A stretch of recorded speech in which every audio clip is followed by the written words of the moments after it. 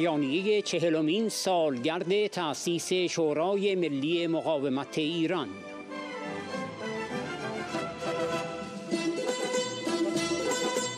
فصل ششم. برجام بیفرجام و مذاکرات وین. سودای دستیابی به سلاح اتمی برای تضمین بقا.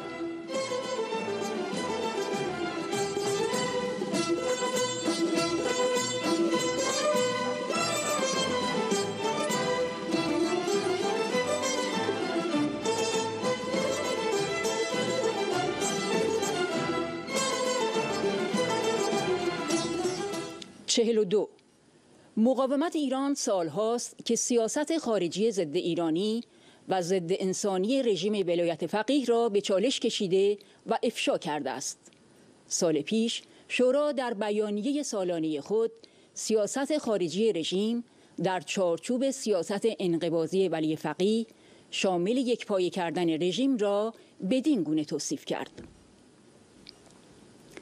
تشدید تضادهای بین المللی با افزایش دخالت‌های منطقه‌ای، افزایش فعالیت‌های موشکی، سرعت دادن به غنیسازی هسته‌ای و قلمداد کردن آن به عنوان نتیجه تحریم‌های ترامپ و حفظ پل‌های ارتباطی با اروپا و سرمایه گذاری روی شکست ترامپ و روی کار آمدن بایدن در آمریکا.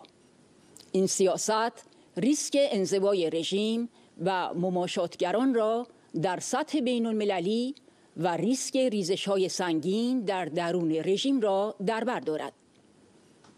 ولی خامنه ای سعی می کند با تاکید بر حفظ دولت روحانی تا روز آخر با سیاست یکی به نل و یکی به میخ در رابطه با برجام و طرفهای اروپایی این ریسک را کاهش دهد.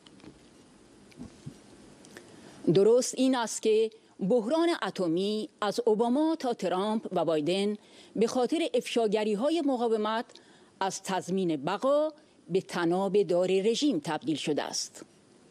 خامنه ای فکر می‌کرد با آمدن بایدن به همه خواستای خود دست مییابد. اکنون روشن شده که صحنه آنگونه که ولی فقیه می‌خواست سفید و روشن نیست. بیانیه اجلاس سران هفت کشور بزرگ صنعتی جهان که به مسابه شاخصی از دوران پسا کرونا به طور حضوری در لندن با شرکت جو بایدن، امانوئل ماکرون، بوریس جانسون، آنگلا مرکل، جاستین ترودو، یوشی هیداسوگا و ماریو دراگی برگزار شد، تصریحاتی دور از انتظار رژیم آخوندی داشت. آنها بر این محورها تاکید کردند. ما متعهد هستیم که رژیم ایران هرگز سلاح هسته‌ای تولید نکند. ما نگرانی عمیق خود را در مورد ادامه نقض حقوق بشر در ایران تکرار می کنیم. ما از رژیم ایران می خواهیم همه اقدامات کاهش دهنده شفافیت را متوقف و معکوس کند و همکاری کامل با آژانس را تضمین کند. ما حمایت رژیم ایران از نیروهای نیابتی و بازیگران مسلح غیر دولتی را از جمله از طریق تأمین مالی، آموزش و گسترش فناوری موشکی و تسلیحاتی محکوم می کنیم. ما از رژیم ایران می خواهیم تمام فعالیت های موشک بالستیک و گسترش سلاح های هسته‌ای مغایر با قطعنامه 2231 و سایر قطعنامه ها را متوقف کند. یک برجام ترمیم شده و به طور کامل اجرا شده می تواند راهگشای رفع نگرانی های منطقه‌ای و امنیتی باشد.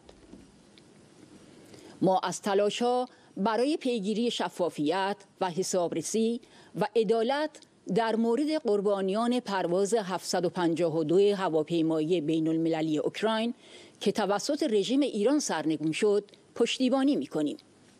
رشد تنشها و تضادهای آمریکا و رژیم تداوم حمله به پایگاه عین الاسد و موشک های مزدوران خامنه ای در عراق دخالت ها و کارهای ایزایی سپاه پاسداران در خلیج فارس و عکس های آمریکا دخالت آشوبگرانه در سوریه و عراق ادامه گروگانگیری اتباع خارجی و دو تابعیتی ها و غیره خاکستری بودن صحنه را نشان می دهد.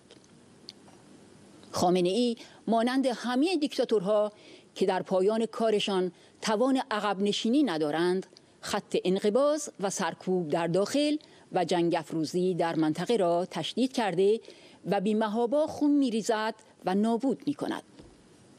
اما با این کار مرگ خود را تسریع می کند.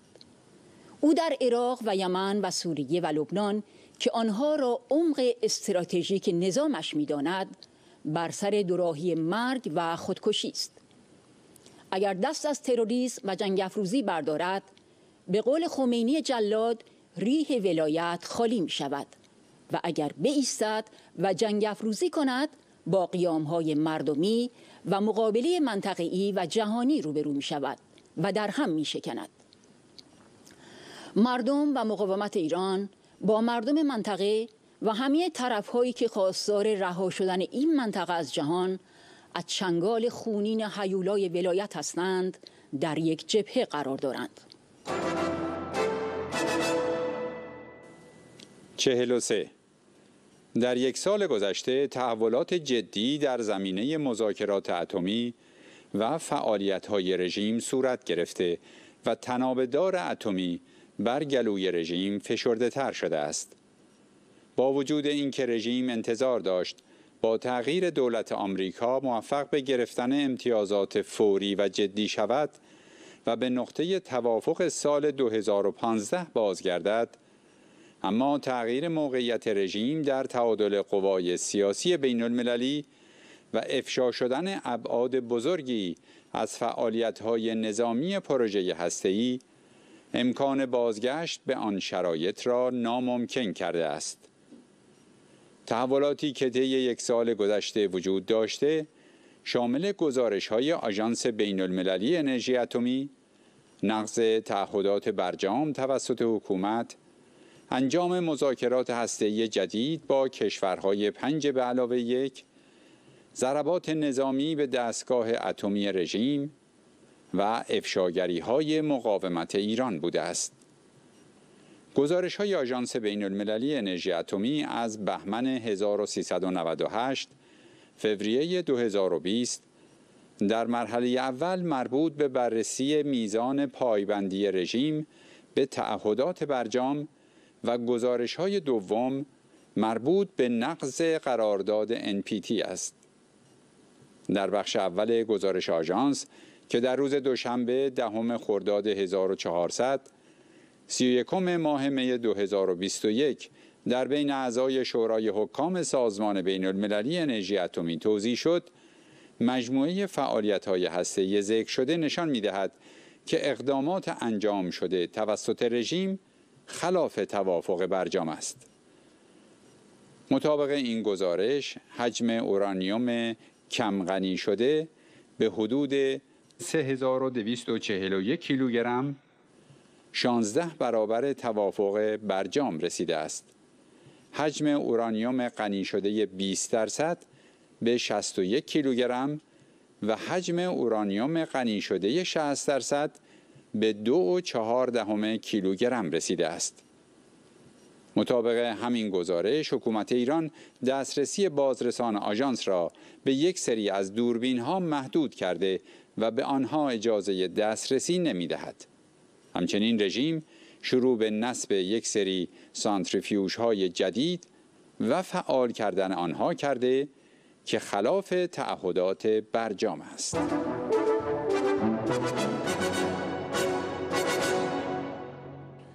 چهل و چهار بخش دوم گزارش آژانس مربوط به پایبندی به توافق NPT و شامل یافته های بازرسی از چهار مکان است که به آژانس اعلام نشده و در آنها آثار اورانیوم غنی شده پیدا شده است.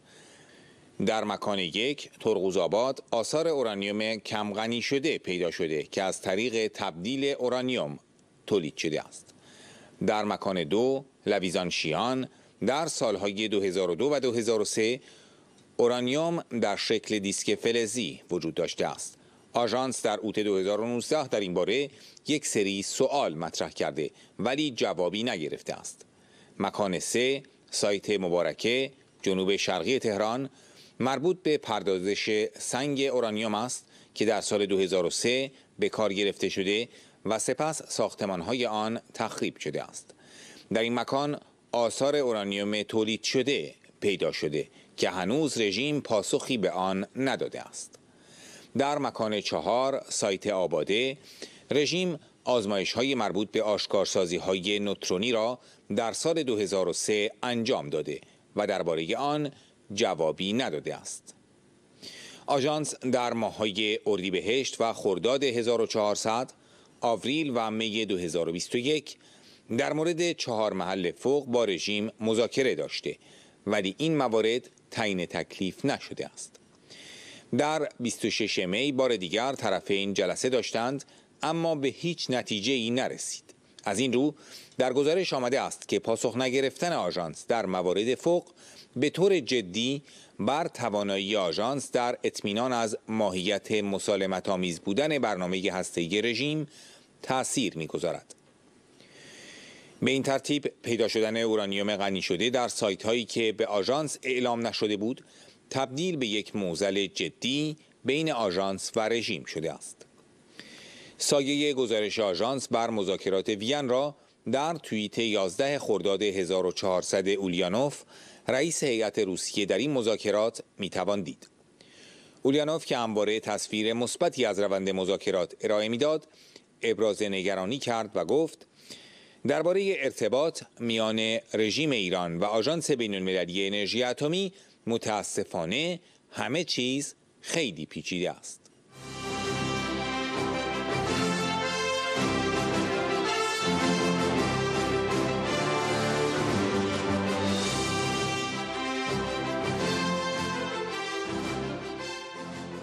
چهل و پنج در واکنش به خروج آمریکا از توافق برجام در 18 اردیبهشت 1398 رژیم یک رشته فعالیت هایی را که مطابق توافق برجام متوقف شده بود از جمله افزایش حجم میزان اورانیوم غنی شده از حد مشخص شده در برجام را از سر گرفت. در 16 دی 1399 رژیم اعلام کرد غنیسازی 20 درصد اورانیوم را آغاز کرده است. در ادامه آن در تاریخ 24 فروردین 1400 شروع غنیسازی 60 درصد را اعلام کرد و این اقدام رژیم همزمان با شروع مذاکرات هسته‌ای بود. اقدامات رژیم که نقض توافق نامی برجام است مورد اعتراض بین المللی قرار گرفت و باجخواهی از جامعه جهانی تلقی شد.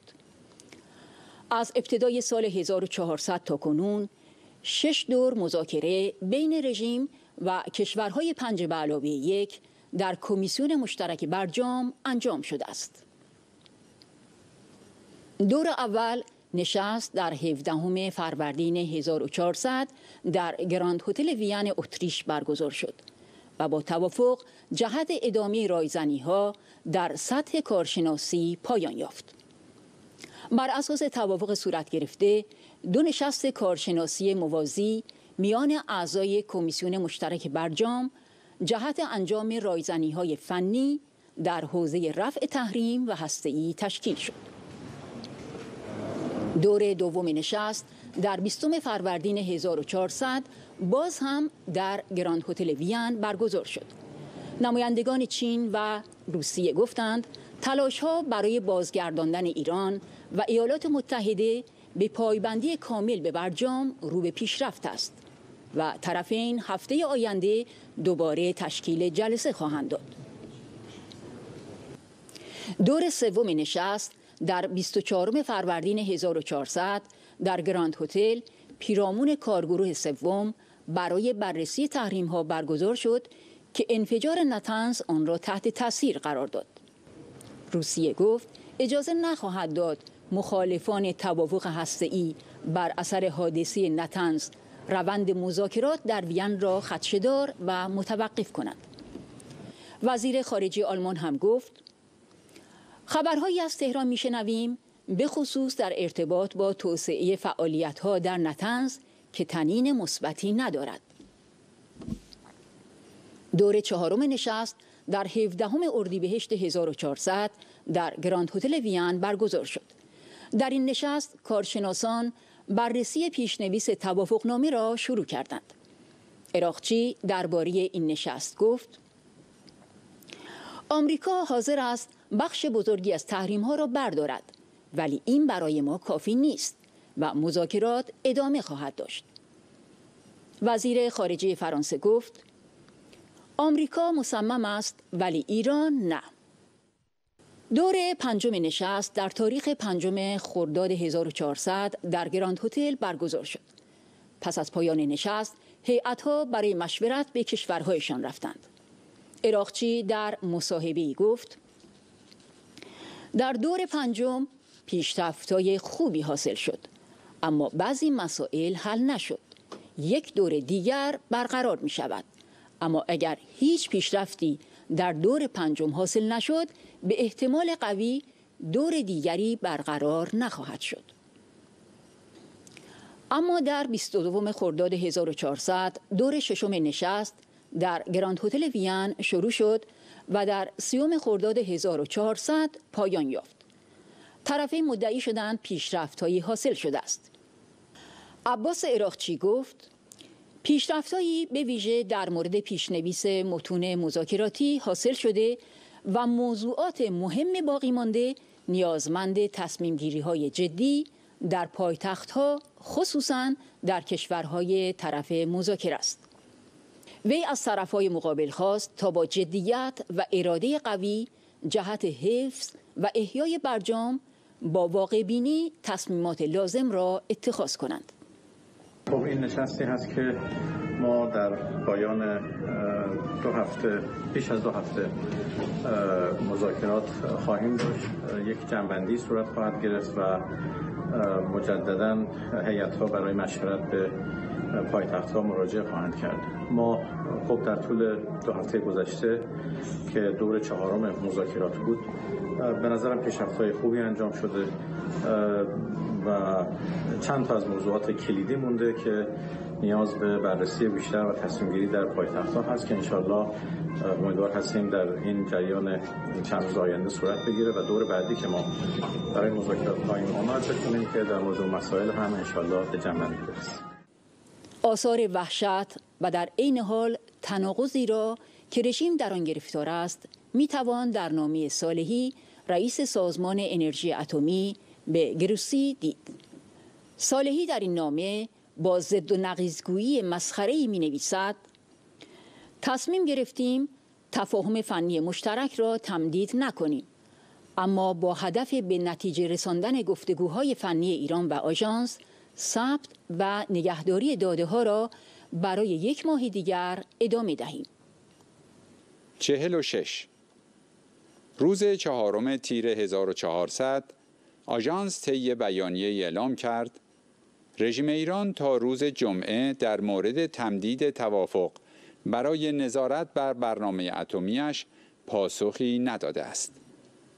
این توافق اکنون منقضی شده و آژانس خواستار پاسخ فوری تهران است. از سوی دیگر غریب آبادی نماینده دائم رژیم در آژانس بین المللی انرژی اتمی در واکنش به درخواست مدیر کل آژانس گفت ما الزامی نداریم درخواست آژانس را اجرا کنیم. این خواسته آژانس در زمره تعهدات ایران نیست.